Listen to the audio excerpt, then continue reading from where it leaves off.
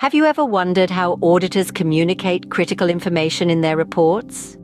Well, today we unravel the mystery behind emphasis of matter or EOM and other matter or OM paragraphs. EOM paragraphs serve as a spotlight, highlighting particular elements that are critical to understanding the financial statements. These could include significant uncertainties like pending litigation or events that might affect the entity's ability to continue. They also emphasize material misstatements that have been corrected or disclosed.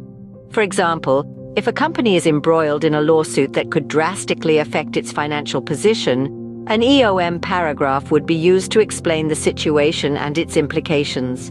On the other hand, OM paragraphs offer additional context.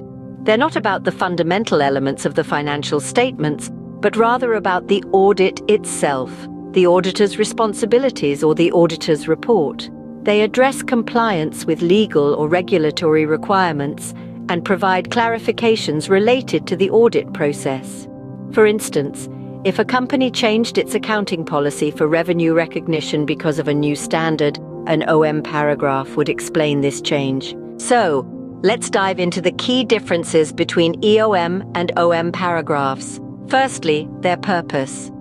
EOM paragraphs are all about highlighting specific, fundamental matters in the financial statements. They address significant uncertainties, material misstatements, or limitations in the audit scope.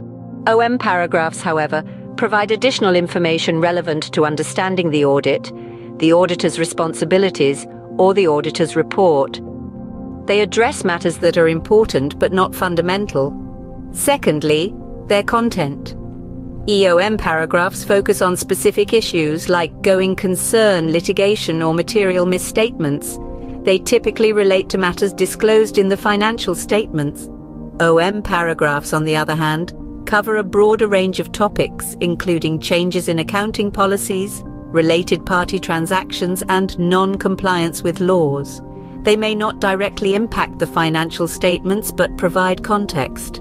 Finally, their significance. EOM paragraphs address significant matters that require users' attention. So there you have it, a comprehensive look at EOM and OM paragraphs. By understanding these, you can better decipher the complexities of audit reports. Keep learning with Learnora, your learning lab. Until next time.